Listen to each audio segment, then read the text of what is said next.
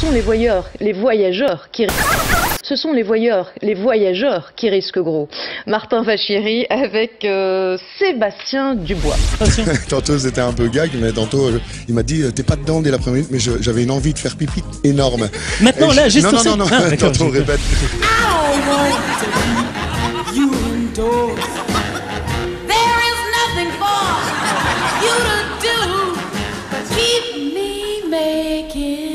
Love to you, love to you, Ooh, love to you. selon le chat, hein, sorti il y a six mois déjà, qui depuis, j'imagine, a sucé bien, a suscité, pardon, c'est un lapsus, a suscité